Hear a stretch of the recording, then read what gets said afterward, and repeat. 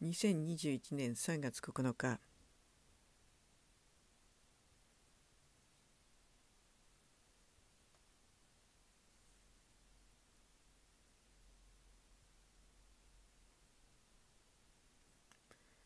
漢字を読んできます。漢字牧の72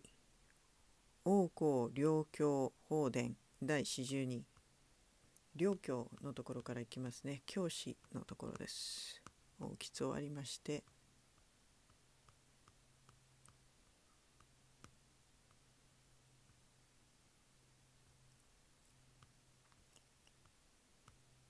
こう終わりまして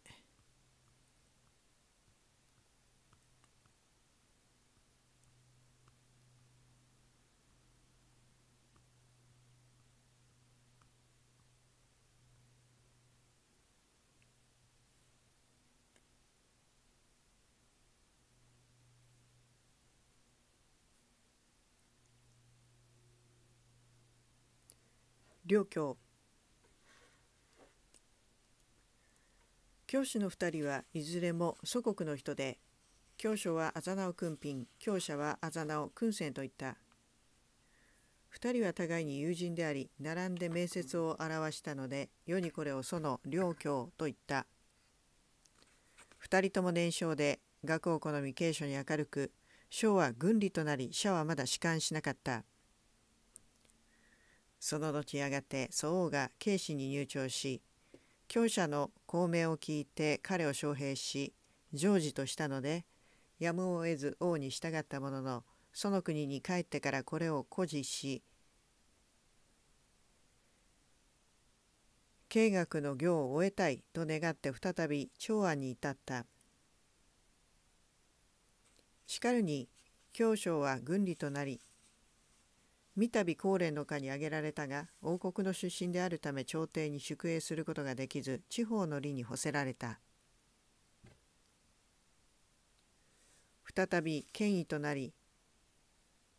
ひとたび献上となったがその都度教書はすぐ赴任しながらまたすぐ去った。州で防災の下に挙げられて重戦権の例となったが注釈。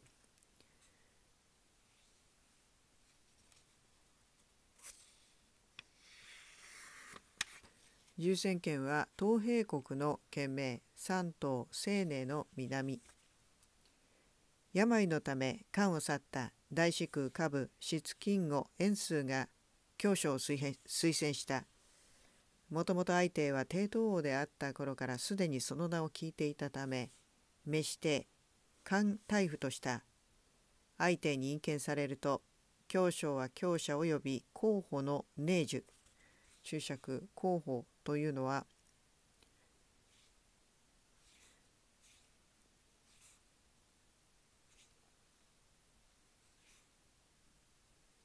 あごめんなさい。先ほどなんか変だなと思ってたんですけど重戦権ですね。重戦権の場所が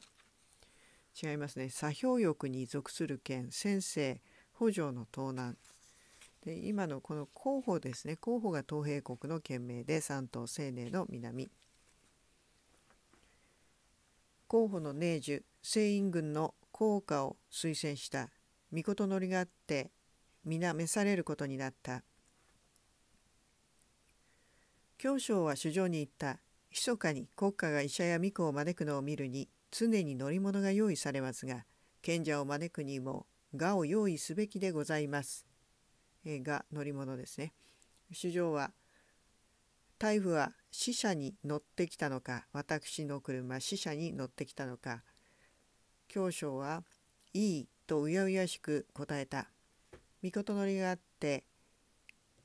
乗り物ががが用意された。強者と効果は長安に至り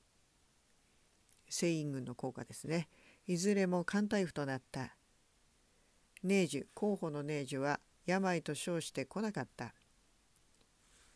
教章はカンカンとしてしばしば上書して越権を求めた。そして人民が貧しく盗賊が多く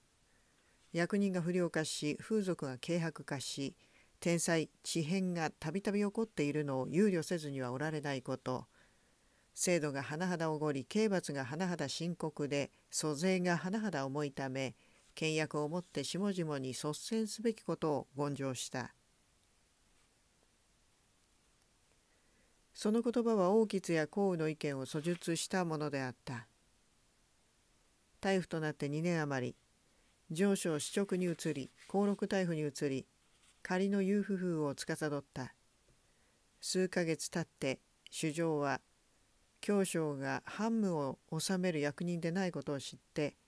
教将をまた元の高禄大夫に返し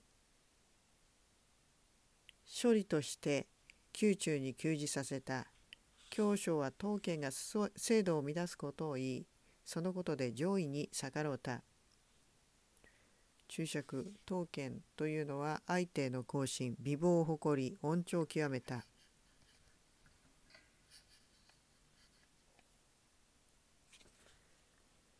その後1年余りして上昇の王家が上書し元の帝位両将らを推薦した。少々は王家を弾劾しことを言うて意を欲しいままにし国を迷わせ神を波し不動の罪にあたると奏上したので将軍や内調の者に下げ渡し評議させた。左将軍高孫録司令法選高禄大夫高校14人はいずれも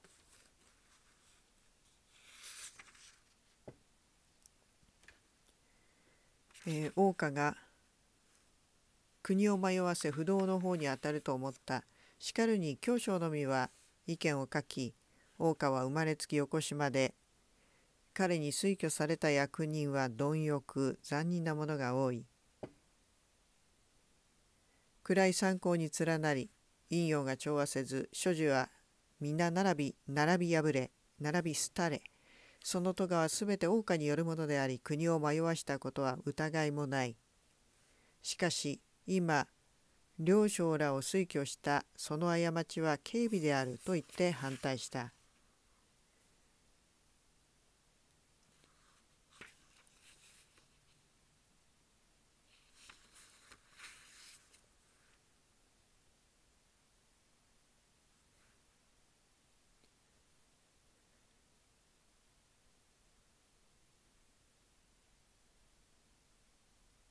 日が暮れたので評議者たちは退出した。翌朝再び会合した。左将軍六は将に、えー、教将に問うて君の議論には根拠がなく今総文を立てまつらなくてはならないがいずれに従えばよろしいのかというと教将は将軍が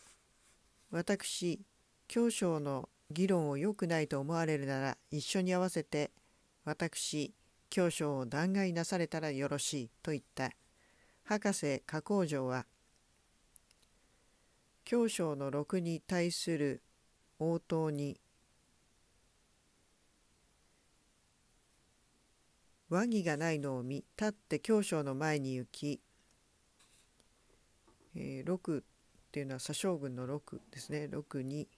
対する応答に和議がないのを見立って教書の前に行き断崖の上層に行ってあるようにすべきでしょうと言うと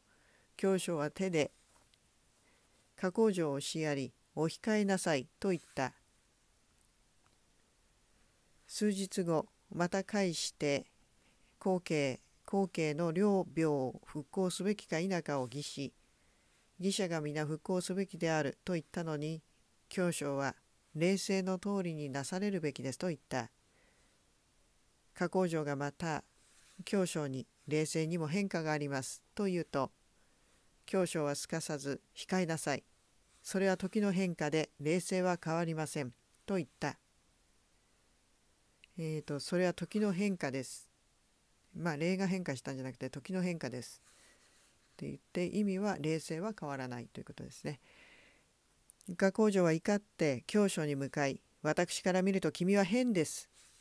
君は少しく皆と異なることで外面の名声を得ようとしており君はつまり神道的の共柄に過ぎないと言った。注釈。神都敵というのは陰の時の賢人東王が彼に天下を与えようとしたのを恥じ川に身を投げて自殺した。ここでは変人という意味で使っているようでございます。これより先教書、えー、加工女はまた教書に母親殺しの子が公領にいると語った。教書はそのことを想像し少々に誰から聞いたのですかと問われて加工場から聞いたのですと答えた。少書が教書から加工場にその事情を問わせたが加工女は続けて恥ずかしめられ教書を恨んでいた際だったので即座に答えていった。あれは庶民から白衣というのは庶民ですね。庶民から聞いたことに過ぎず他言しないよう君に念をしてあったはずです。ことを相乗するのにその詳細を知らずみだりにことを構えれば自ら法に触れて罪を得るわけです。教書は窮して少々に答えようがなくすぐさま加工場と言い争って朝廷を汚辱した罪を自ら断送した。ことは御子中将に下げ渡された。中将が教書を招いて質問し弾劾し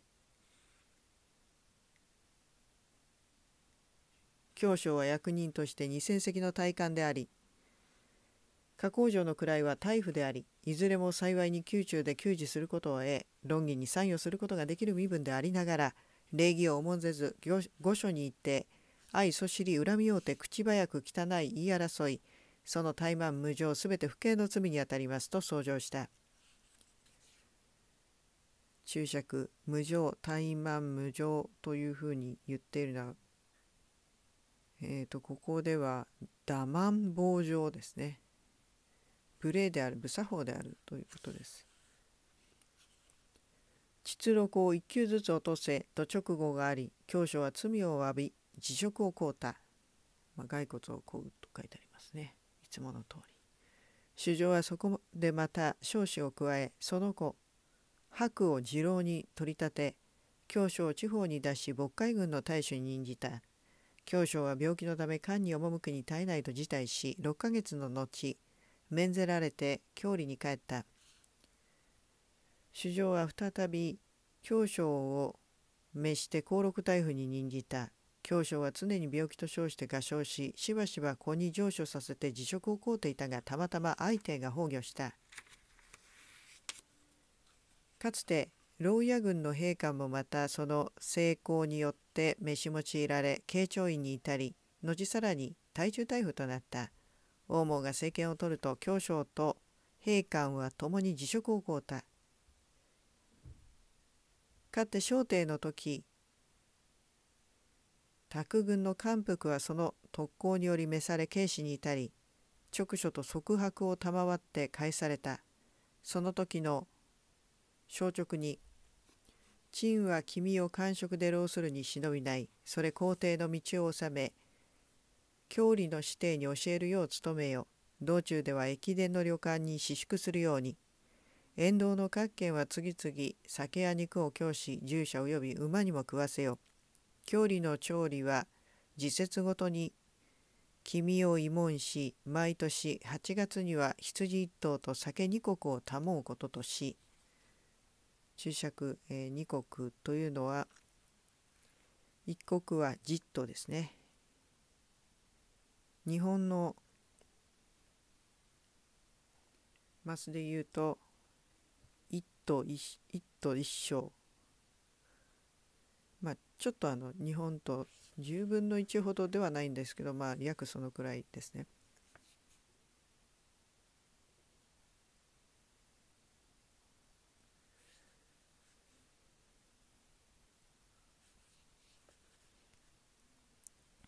こうにして死去した説は腹筋一枚をたまい、えー、腹筋というのは綿入れのしとね二重に重ねたしとねまあ寝具です。中老の供物を持って祭れとあった。そこで王毛はこうした故事に基づき申し上げて教章と官、えー、教章と兵官を帰郷させた。その作書に言う。これ原始2年6月公院の日。高禄大夫と大中大夫の帰老2人が老衰をもってその職を辞めることになった。太閤太后は越者牧野に命じて御事のりせられるよう思うに古役人が年を取れば宮遣いをやめたのは献上で後進に道を譲りその力を出し尽くさないで余力を残すことをつか、えー、示すためであったと聞いている。今大夫たちは高齢に至った。陳は官職のことによって大夫たちを反論させるのをいたわしく思う。それ二人は子あるいは孫もしくは兄弟や兄弟のこのうちの一人を朝廷に仕官させるよう申し出よ大夫たちは身を治め道を守って天寿を全うするように。木の及び道中の宿泊宿舎をたまいまた毎年時節ごとに羊酒衣服ヤグを保うことすべて官服の故事の通りにせよ。申し出た男子はいずれも牢に叙任するとこうして教将と陛下はついに郷里に帰宅した陛下の兄の子万葉もやはり志を養うて自ら治め仕官したが出力が600隻以上になることを外縁時内で出雲自ら職を免れて去ったがその名声は陛下をしのぐものがあった。かって教者は教将の推薦によって召されて艦隊夫となったが病気のため職を免ぜられた。再び召されて博士となったがまた病気のためその地位を去った。やがて相手は死者をその国に使わし強者を泰山軍の大衆に任命させた。強者は武元県に下居していたが死者が県に到着し強者に県の役所へ出頭するように来い。院事を受けさせようとした。強者は王者は天下をもって家とす家とする。どうして県官すなわち役所でなくてはならぬことがあろう。と言ってついに家で御事のりを受け金炉から直接認知に赴いた。就任数ヶ月で上書して辞職を請うた。主上が強者を召したので慶長の東方古県の北、えーと、境に至り。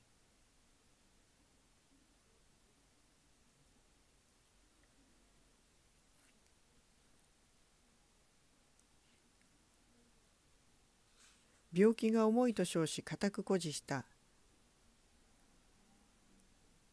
天使は死者を使わしてその印を受け取り強者を高禄大夫に任命した。しばしば休暇を保うたが強者がついに立とうとしなかったのでやむを得ず帰国させた。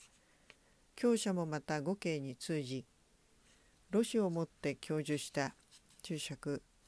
ロシは三歌詞の一つ。漢の時代炉の新勾配が伝えた。戻ります。強者強将が郷里に帰った後軍の二千隻調理が初めて着任すると皆その家に行き注釈調理というのは600隻以上の比較的高禄の役人この場合軍の主位を指す、まあ、長官副官クラスってことですかね。さながら指定の例を取る風であった教者は68歳で王毛の王毛の虚説年間に即居した王毛が国を奪うと五位小水を使わして注釈。これは王毛が設けた官名で五位とは公公天上帝の異名を受けたえ受けること。戻ります。王毛が国を奪うと五位小水を使わして天下の風俗を巡視させ小水は自ら羊や酒を捧げて教将の安否を問うた。翌年王毛は死者を教将の郷里に使わし工学採取に任命させようとしたが注釈工学採取は官名学生を司る長官。教将は病気と称して召しに応じなかった。2年後王毛はまた死者を使わした。直書と大使の私有採取の印樹等を報じ安社芝をもって教書を迎え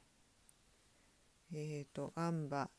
安社芝というのは4棟建ての安楽社。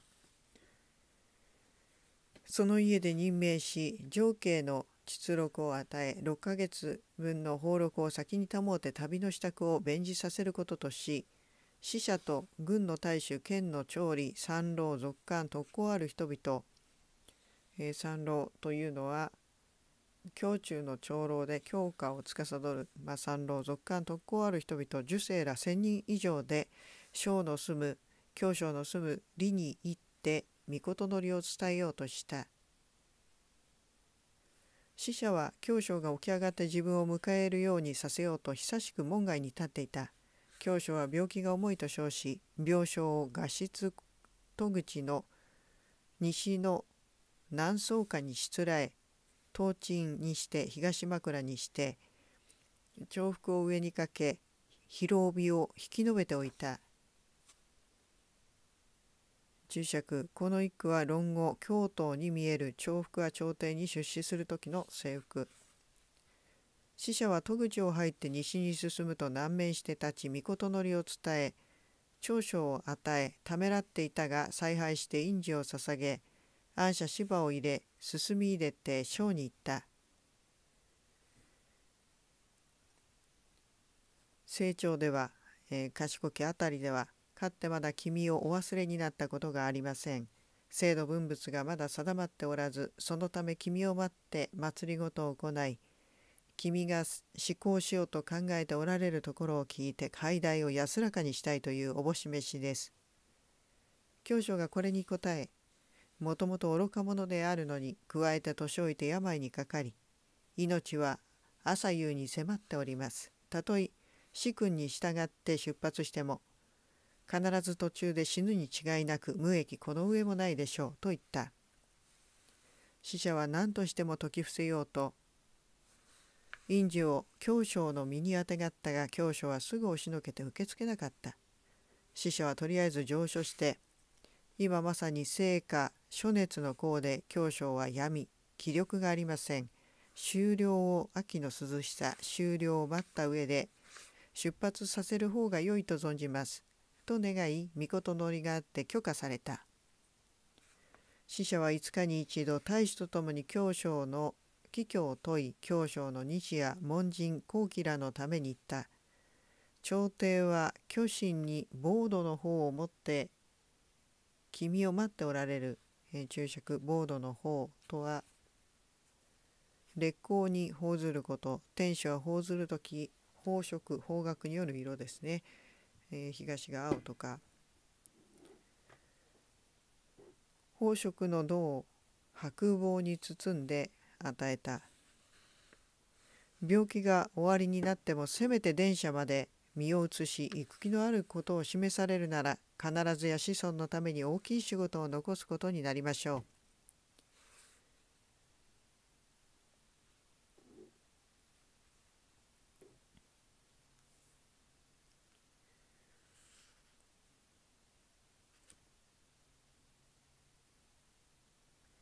高貴らがこれ門人の高貴らが死者の言葉を教章に告げるとどうしても聞き入れられないと自ら知った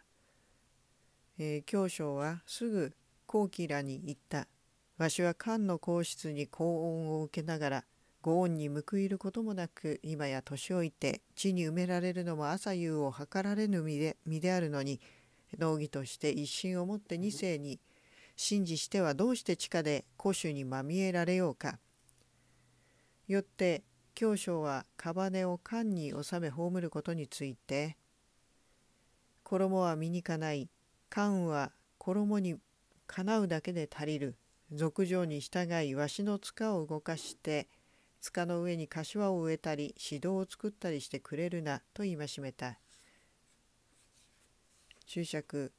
すでにある教章の塚の上に俗情を持って柏を植えたり指導祭、えー、指導祠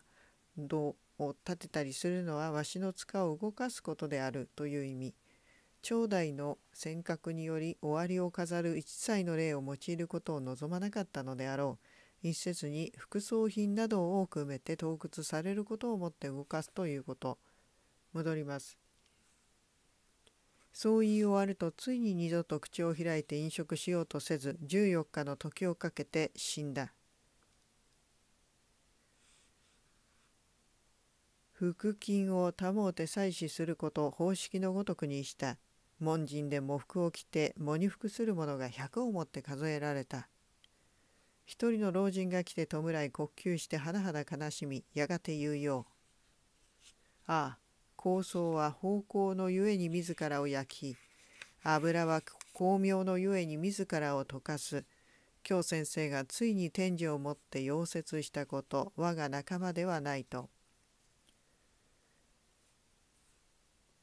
注釈79歳をもって若死にしたというのは教章が最後まで隠れ去ることができず終わりを良くしなかったのを悲しむ意味である、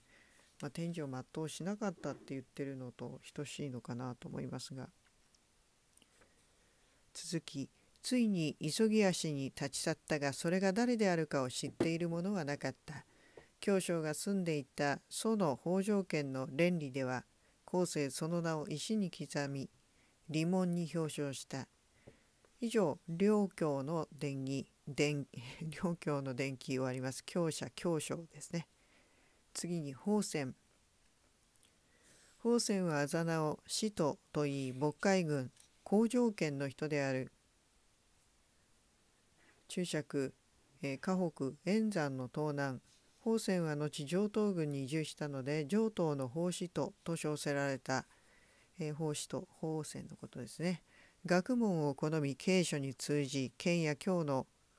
子役人となり即宗権の続官を務めた後都尉大主大主の構想となり注釈構想というのは官名で軍の属理高連の下に推挙されて牢となり病んで官を去ったがまた州の十字となった注釈十字というのは州郡県など地方行政区画の通称。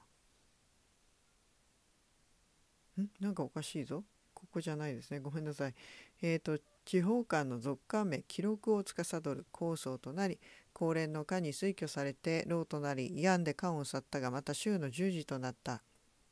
あれ？なんか私ちょっとバグった。えっ、ー、と州の十字こっちはですね。これがあれですね。あの記録を司る人ですね。大芝 A 将軍王将が宝泉を招き推薦されて義老となったが後病のため職を去った相手の初年大支部大支空下部が宝泉を清掃園に叙任しこの清掃園っていうのが大尉の属官で園というのは下役人えーと、甚だ傾聴し宝泉を推薦して艦隊府とし余州の僕に選任した一年余りで上州上昇市直各金が上層していった宝泉は振る舞いが煩わしくこせつき二千隻に代わって役人を部署し訴訟を聞くなど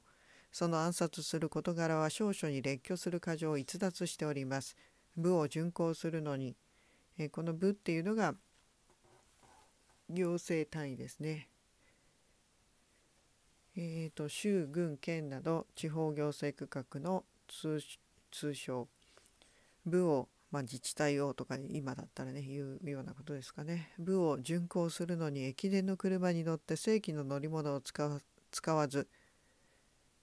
市場を、えー、一一つの馬ですね市場市場をがするのみで協定に私縮し州のそしりを受けています。宝泉は性に背いた罪により職を免ぜられた。家に帰って数ヶ月また召され肝気大夫になった。宝泉は官位におるたびに上昇して乾燥するのを常とし、その言葉は飾り気が少なく実が多かった。当時、帝の祖母、父太后は、聖帝の母、王子と共に尊号を称し、親族を報じて爵位を与えようとした。上昇高校、大司空師丹、下部、大芝吹は初めから正論を辞して不太公の意を損ね皆官を免ぜられた。定子不死の指定が並び進みこの定子というのは相手の母が定子ってことですね。定子不死の、えーと、指定が並び進み刀剣が徴工され宝泉は艦隊夫としてその後に従うたが上書し諌めていった。密かに公正皇帝の時を思い見ますに外籍が権力を握り人々は支配する者を取り立てて朝廷を満たし賢人の進路を妨げ天下を奪乱しおごり高ぶること際限なく人民を困窮させそのため日の食すること実旅に近く彗星も夜旅起こりましたそうした危険滅亡の長は印は陛下の親しくご覧になったところでございますが今やまたどうして前よりも激しく反復されるのでしょうか。長身には大樹交換紅白白桃の宿老たくましい宗師がおるでもなくその書論が古今に通じ毅然と終身を感動させ国を憂えること帰活のごとく切実な人物を真はまだ見ないのでございます。外籍の青二歳及び長身刀剣らを信仰して旧門聖子のもとにおらせ注釈。聖子小小子の方がいいですかね。えっ、ー、と宮中の入り口のこと。陛下がこうした輩と共に天神地義をいただき階代を安らかにしたいとお望みになってもそれは甚だ固いのであります。今世俗は不知者を能知者を不能と言いなしております。昔行は4人の罪人を放逐し天下の神服を得ましたが今は一人の役人を除任しただけで天下の衆が皆惑います。古は人を刑罰してもなお衆を振幅させ今は人を報奨してかえって衆を惑わせます。密かに創生託して、えー、密かに愛請託して感学を行い無造無造が日に日にのさばり国家は空虚となり財用も足りません。民は放浪して城郭を去り盗賊が並び起こり役人が残賊を行うこと。注釈残賊は道にもとり仁義を損のうこと。年ごとに前よりも甚だしくなっています。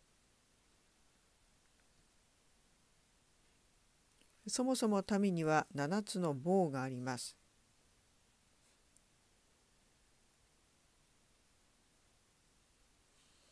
えー、注釈この棒というのは財や行を防出すること陰陽が調和せず洪水日照りが災いをなすことこれが第一の棒であります。お上が厳しく攻めて甲府や租税を取り立てることこれが第二の棒であります。注釈甲府の甲というのは高卒辺境の不益を免除されるための税貪欲な役人が公職によって賄賂を受け財物を取ってやまないことこれが第三の棒であります。豪強の輩や類大の成果が民を参食して悪を知らないことこれが第四の棒であります。過酷な役人が民を刺激して農村の時期を失わせることこれが第五の棒であります。部落で太鼓を打ち鳴らし男女を駆り立て連ねて盗賊を遮り追捕させることこれが第六の棒であります。盗賊が脅かしかすめて民の財物を奪い取ることこれが第七の棒であります。この七つの棒はまだしものこととしてこの上また七つの死があります。国利で、えー、国利が殴り殺すことこれが第一の死であります。裁判の深刻なことこれが第二の死であります冤罪で無実の民を陥れることこれが第三の死であります盗賊が横行すること。これが第四の死であります。怨恨と復讐で互いに損ない合うこと。これが第五の死であります。凶作で飢餓に襲われること。これが第六の死であります。時効あたりと流行病。これが第7の種であります。民に7つの棒があって1つの徳もないのに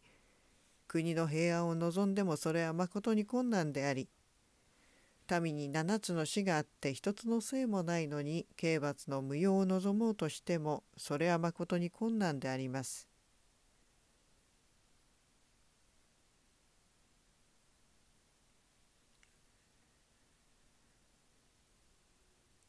こうしたことは後継群衆国将らの貪欲残賊が風俗をなして順治したものではないでしょうか。軍神は幸いにも尊冠により長禄をはむことができる身の以上、えできる身の上果たしてわざわざ催眠に即位の情を加え陛下を助けて強化を流そうとする者がおりましょうか。その志は甚だしかの利を図り品格の求めにかない管理を得ようとするにあるだけのことであります。かりそめにも屈辱に甘んじることをもって剣とし手をつかね黙して何もせずに禄をはむことをもって地とし真、私宝泉らのごときをもって愚と言うております。陛下は私を岩穴の中より抜擢されましたがそれはまことにいささかなりとも拷問いささかですねいささかなりと国家に利益があるようにと恋願われ恋願われたからであってなんとただいたずらに真を体感に美食させ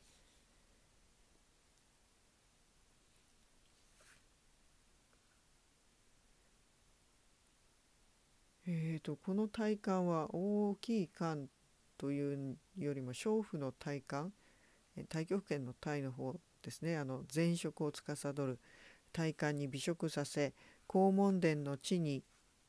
朝廷の重心たらしめることだけを望んでおられるのでありましょうか。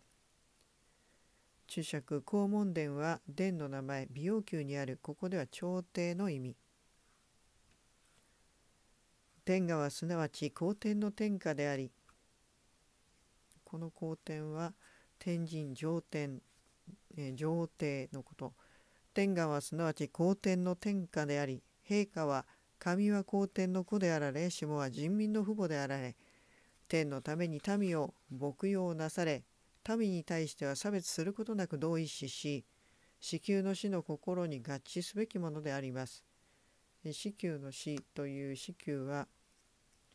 死祖父の紙幣名その死の意味は子宮、えー、すなわち呼ぶ子鳥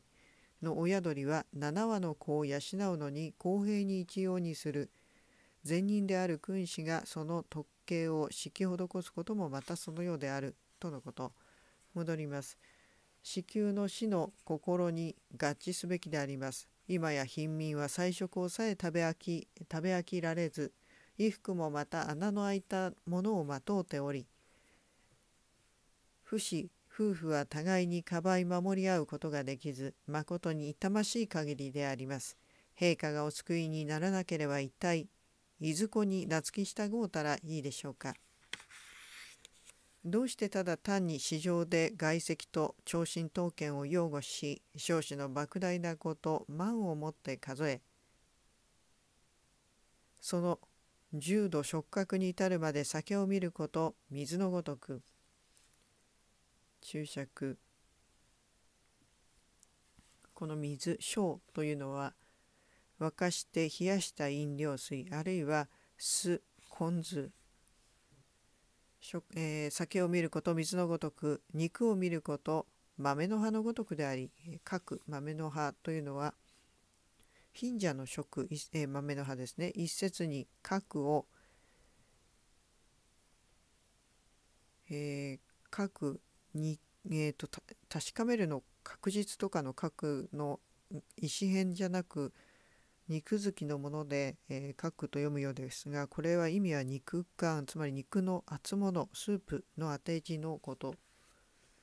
まあ分かりませんけれども肉を見ること豆の葉のごとくでありしもべ召使いに至るまで皆そうしたことで富を手に入れている始末これは天にかなうことではございません。また上昇校不詳は功労なくして報ぜられました。そもそも官職は陛下の官職ではなくて天下の官職でございます。陛下はその官位にふさわしくないものを取られ官位がその人の任でないのに授けながらしかも天の喜び民の睦み従うことを望んでおられますがなんと難しいことではないでしょうか。法要校村長注釈。南洋軍の大衆即普及と結託し合歩に流される。戻ります。義良公即普及はこの人ですね。これはですね即符という二文字姓複製で旧が名前、えー、あざ名は死尾春秋を学び相手の時登録逮捕となった。戻ります。法要公村長義陽公即普及はその弁は州を動かすに足りその強さは独立することができて肝心の優であり世を惑わすこと最も激しいものでありますから時期を見計らってやめ退けるべきです。またまだ芸術に通じていない外籍の陽道らは皆やめて主婦につかせるべきです。急いでま、えー、元の大芝吹きを召し外籍のことを管理させるのがよろしいと存じます。元の大司空下部士丹元の上昇高校元の左将軍宝泉らはその経歴がいずれも博士官を経その官位が皆参考を経ておりその地望と威信は共に国の強化を立て国の暗記を図ることができるものであります。教省が主直であった時は軍国は全て人材の推挙を慎重にし機内三歩の EU の官は注釈、えー、の官は備蓄米を運搬運搬することを司る官機内散歩の EU の官はあえて官学を働こうとしませんでした。大いに委任することができたのでございます。先に陛下はいささかのご不快を忍ぶことがおできにならないで、えー、ブラを避け退けられ株のことですかね。そのため天下は失望しました。大宿の株ですね。元の大宿。陛下は登録のないものをさえ受け入れて用いられることが甚だ多いのにどうしてカラに忍ぶことがおできにならないのでしょうか。天下を治める者は天下の心を持って我が心とすべきであって自ら心をもっぱらにし気ままにのみすることができないものなのです。神はこれ皇帝に献石され下はこれ民が怨恨し続いて乾燥する神がおり陛下が仮初めにもご自身に薄く悪心に厚くしようとなさっても天下はやはり長寿いたしません。神は愚か者ながら秩禄私物を多く受け体幹に美食し電池電卓電池宅地を広め妻子を手厚くし悪人とも恨みを結ぶことなく一心を安泰にするそういう生き方を何と一人私だけが知らないでしょうか。まことに大義に促され官は感想を持って職責としておりますのであえて愚痴を尽くさずにはおられないのであります。ただ陛下には少しく神明な御心をとどめられ五慶の文をご覧になって成人の至極の意を尋ね深く天地の戒めに思いをいたされますように真、えー、私宝泉は文治に拙く鈍いものながら献献の情に絶えず施設を尽くすのみでございます。注釈献献の情慎み年頃なこと主上は宝泉を明治としこの総文を寛大に受け入れた。当時軍国には地震があり人民は西欧母が来ると流言し天使の計りごとを伝え行い翌年正月昨日に日食があったので主上は高校を召し村長と側普及の職を免じ自中諸僧黄門楼数十人を辞めさせた。千はまた宝泉はまた上書していった陛下は天を父としてこれに仕え地を母としてこれに仕え民を子として失われる方でありますのにご即位以来父たる天はその、えー、巧妙を書き母なる地は古い動き子なる民は流言し愛を驚き愛を恐れております。今三子に日食があったことは3つの始まりというのは正月元旦というのが年の初めで月の初めで日の初め、まあ、朝なので三子という一節に正月より4月までを歳年の朝始まりですね。月の上旬を月の朝、まあ、始まり。夜夜明けより正午までを日の朝とする。戻ります。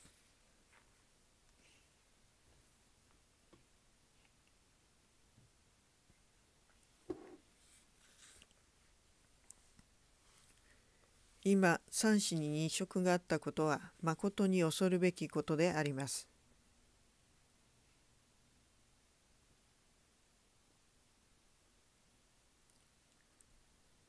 町民は正月昨日に器物などを壊すことさえ恐れ恐れます。まして日の食するにおいてはなおさらのことではありますまいか。陛下は内心深くご自責なされ、正殿を避けて謹慎した舞進化の直言を取り上げ御自らの過失を求めた舞外籍及び側近の無意にして禄をはむ人をやめ退け高校を召して公禄大夫に任じ村長即普及の過失悪事を暴きその間を免じて両国につかせたので宗書は休然一致しこれを喜ばぬものがありません。天と人が心を同じうし人心が喜べば天意も解けましょう。しかるに2月平日の日発行が日輪を犯し連日曇天で雨が降ります降りませんでした。これは天に憂いの結ぼれてまだ解けないものがあり民に恨みのまだ塞がれないものがあるからです。自中不馬とい当県はもともといささかの深淵もなく注釈この「よし」という字ですね。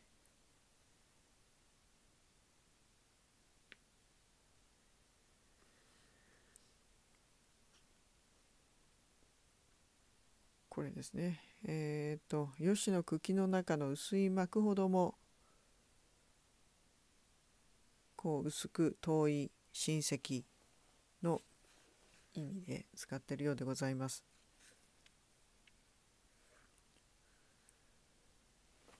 自中不馬と伊藤県はもともといささかの深淵もなくただ顔色を繕い言葉をへつろうて自ら進みためにその少子は止めどがなくて蔵を尽くし傾けるばかりその屋敷は三邸宅を合わせてもなお狭いとしてさらにまた防湿を取り壊してその地までも増し加えられました。注釈。防湿というのは宮中で不白を植染する折って染める植染することを司る役所。戻ります。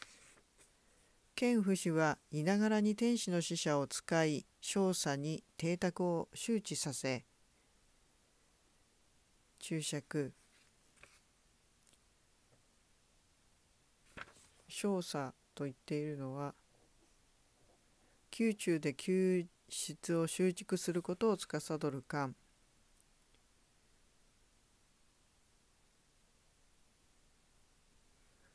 県府氏はいながらに天使の使者を使い少佐に邸宅を周知させその屋敷を夜景する利卒に至るまで皆少々を得ております。墓を祭り寄り合いをするたびに大官が食物を備えております。天下の貢ぎ物献上物は一人の国君を法要すべきものでありますのに今かえってこれらを当家の家に費やし尽くすのはこれなんと天意と民意にかなうことでありましょうか。天には久しく背くことができないのに彼をこのように手厚く偶することはかえって彼を害するゆえんでございます。もしまことに当権を愛憐しようと望まれるなら彼のため過ちを天地に詫び恨みを天下に解き官を免じ両国につかせ上与器物を没収してこれをお上に返させるのがよろしゅうございます。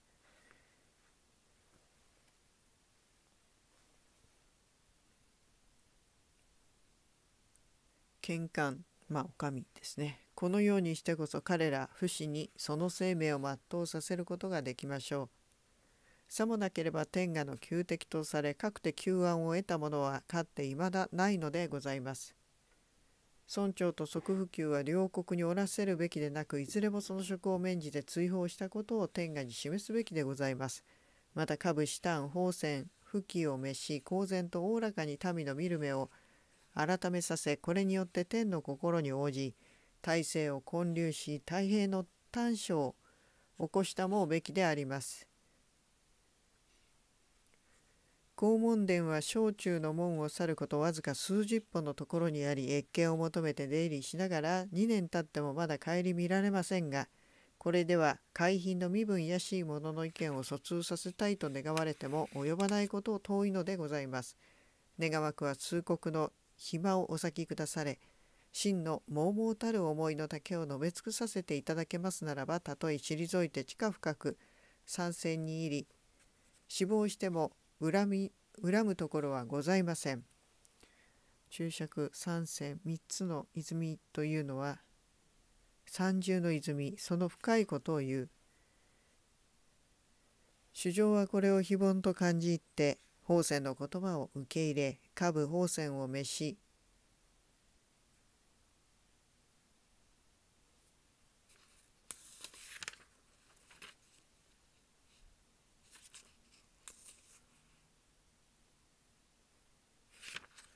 そっか宝泉っていう人が2人いるからなんかだんだんややこしくなってきました。宝泉2人いるししかも宝の字が違って線は一緒なんですね。宝の字字は違うけど読み方はどちらも宝ですね。あの宝祖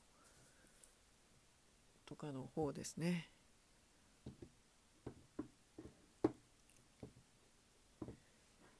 えー、まあ戻ります。宝泉は死者を拒んで、えー、じゃあここではなく宝泉を司直に免じた。その任じた。その時相手は司令行為の名称を改めてただ単に司令と称しその間を司直と対等にした。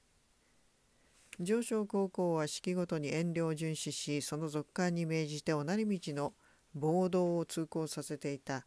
宝泉はたまたま外出してこれに出会い役人をやって上司の上昇の縁氏を交流しそのシャバを没収して宰相の威厳をくじき恥ずかしめた。ことは御師に下げ渡され中将事業師が注釈。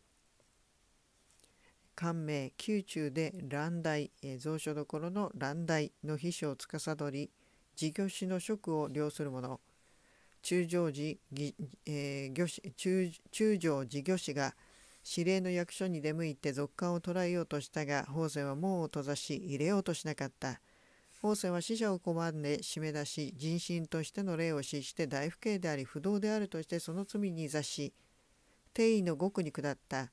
博士の弟子西南軍の王冠は旗を大学のもとに上げ法指令を救おうと思う者はこの下に集まれと呼びかけると集まってきた受生たちが千人余りに及んだ。早朝山頂の塔上昇高校を遮り自ら訴え上昇の車を進ませずまた受生らは上昇して旧門を見守った。主上はついに宝泉を、えー、積みして死一等源氏頭髪を切り落とし首かせをはめた。宝泉は刑罰を受けた後上等軍に流された。その地が耕作牧畜に適することまた豪遊春秋の死が少ないため頭角を表しやすいことを思いついに長子権に科挙した。注釈。長子県は上東軍の県三世長子の西南。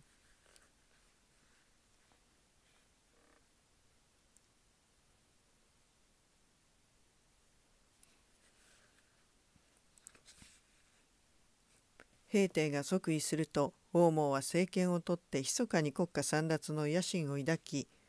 そこで州都に刑罰の法を告げ諸豪傑及び官の司職の臣で自分につかないものを取り調べて殺すことにし各手法泉や神楽が皆滅ぼされるに至った。当時老政軍の信仰が指名で追追捕されていた。公は、え、信仰は宝泉の女性娘婿巨根と共に宝泉を下放し一般して去ったが事情を知らなかった宝泉がこれに連座して獄につながれ自殺したのであった。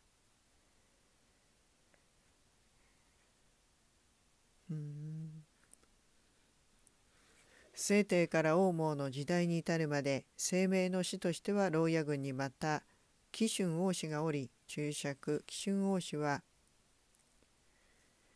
えっ、ー、と紀春のあざなが王子ですね。春王子、えー、以下全部同じですね。西軍にはすなわち絶望しよう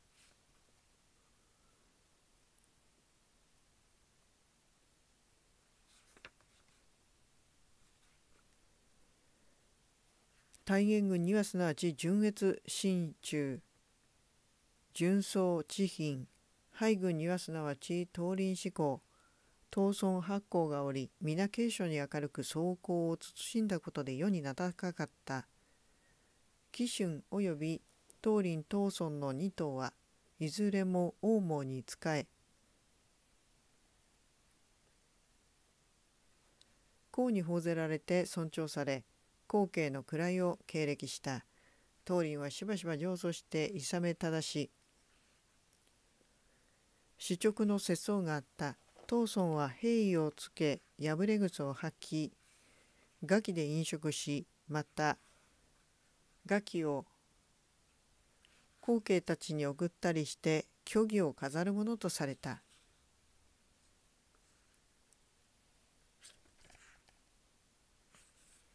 春越春宗は純越純宗は同族の兄弟で注釈、えー、父方の三いとこ三十兄弟ってやつですね。えー、族同族の兄弟で共に並んで州軍の高連防災の下に推挙されたが防災は秀才ですね。五冠の後部帝の意味な流州を避けて防災防災としばしばしば病んで官を去った純越はその父祖の資産1,004万銭を参じ旧族修理の者に分け与ええー、施し施設の最も高い人物であった。注釈注釈。旧族は高祖より現存に至る9代の親族あるいは父の族4つ母の族3つ妻の族2つその他諸説ある。戻ります。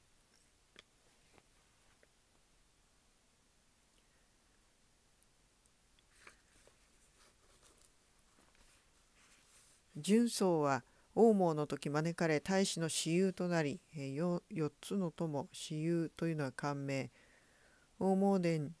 というのは牧野六十九ですけれども大毛殿に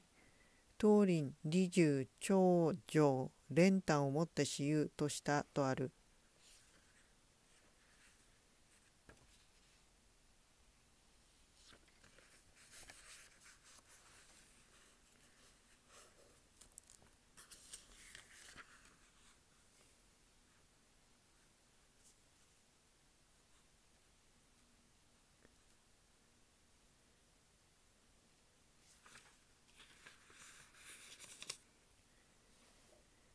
えー、先行きます。病死したので、えーと、純宗は王毛の時招かれて大使の私有となり病死したので王毛の大使が死者を使わし死者のため衣服寝具を送ったところその子が父の棺に取りすがって受能を拒み亡き父は私有からの贈り物は受け取ってはならぬと遺言しました。今皇太子の場合も父が私有の官であったことに託することができますゆえお受けいたしかねますと言った。慶氏の人々はこのことを褒めたたえた。節法はかつて軍医採取となり注釈。軍医は官名軍の属官。またかって朝廷から召されたが行かなかった。王毛に及んで安社をもって迎えに来たが節法は死者を通じて辞退し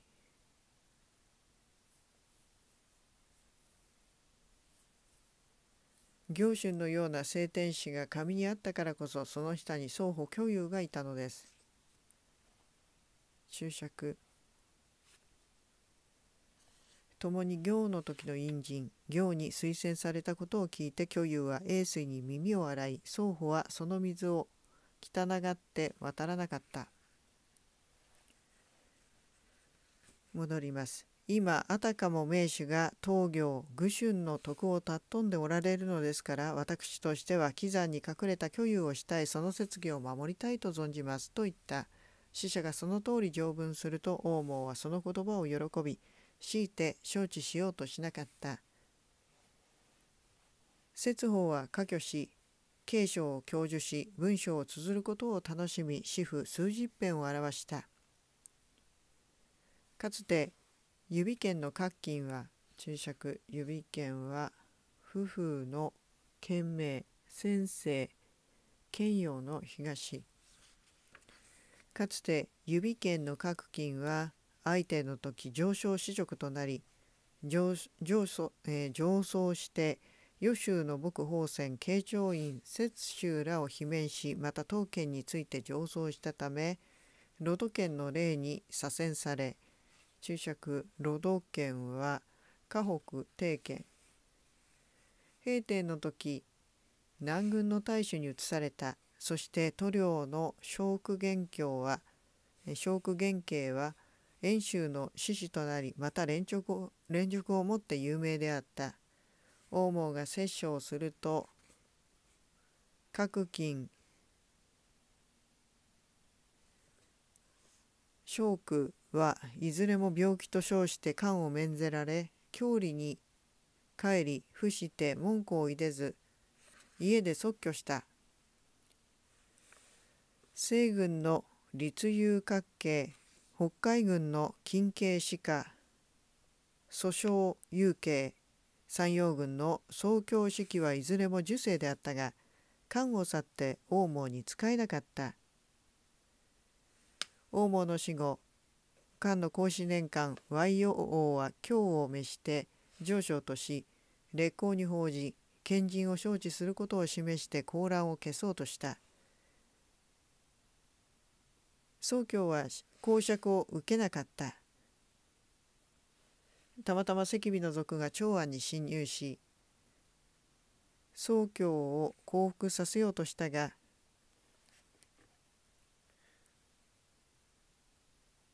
宗教は剣を手に取り戦って死んだ。世相が即位し、えー、世相というのは五冠の五冠の後部帝節法を招いたが法は道中で病死した。教将教者および法仙の子孫は皆褒章されて体感に至った。以上でございます。まとめコメントいきます。3に言う駅に君子の道はあるいは意であるいは折あるいは目視あるいは語るとあるのは注釈、えー、刑事上編出発点は異なるも同じく道に帰する3に言う駅に君子の道はあるいは意であるいは折あるいは目視あるいは語るとあるのはそれがおのおの道の一節を得ていることの意義であり例えば諸々の草木が類によって区別されるようなものである。したがって山林の死は生きて帰るあたわず朝廷の死は入りていずるあたわずと言われ注釈、えー、監視外伝に同様の句があるようでございます。風俗通実編編にもあるようでございます。ちょっと試みに読んでみると朝廷の死は禄をなし故に入りていでず山林の死は名をなす故にいいて帰らずと、まあ、適当にすみません。あの読みました。二者それぞれに短所がある。春秋時代の列国の形態譜及び漢が後期した際の少々迷信に至るまで実録を思い兆候にふけってその生涯を誤った者はまことに多い。さればこそ聖説の死はここに尊ばれる。しかしその多くはおおむね我が身を治めることができても人を治めることができない。王公の才能は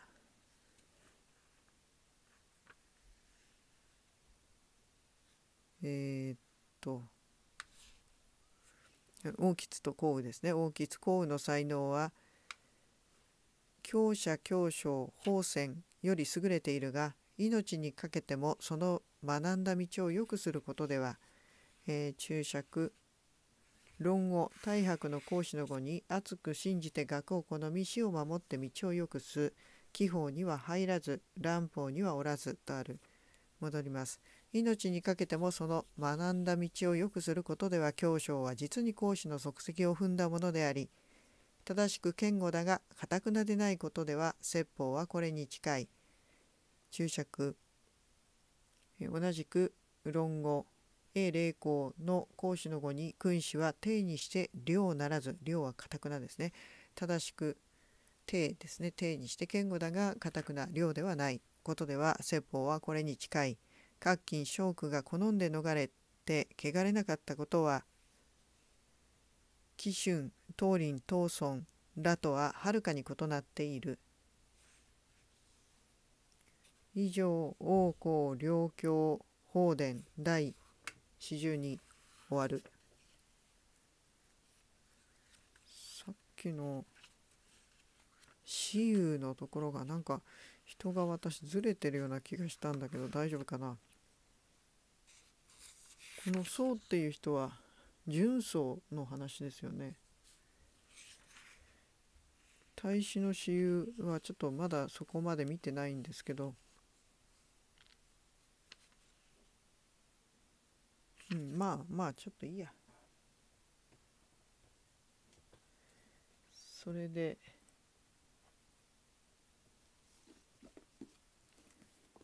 ダイジェストですね。序伝のダイジェストをちょっと見ます。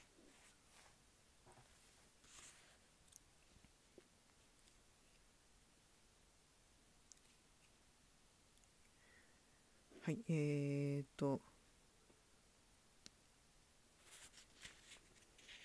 思考は真を逃れた古の一民で、その志は釈録をもってしても惑わすことができず、イブをもってしても抜くことができないもの、元君平、低指針もまたこのとである。王吉は醤油の注意としてそのオーガに苦しんだが、黒土にまぶしても黒くならなかった。項羽はすでに高校の老齢ながら徳を持ってきたり伝え強者は祖王の兵に応じないでひたすら身を正し教将は死をもって二世に仕えることを拒んで人道を正した。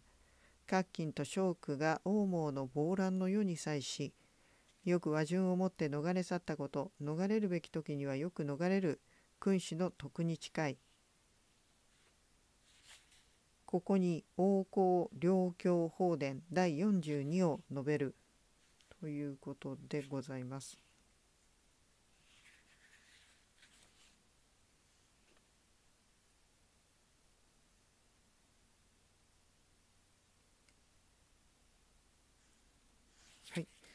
以上でございます。また後ほど。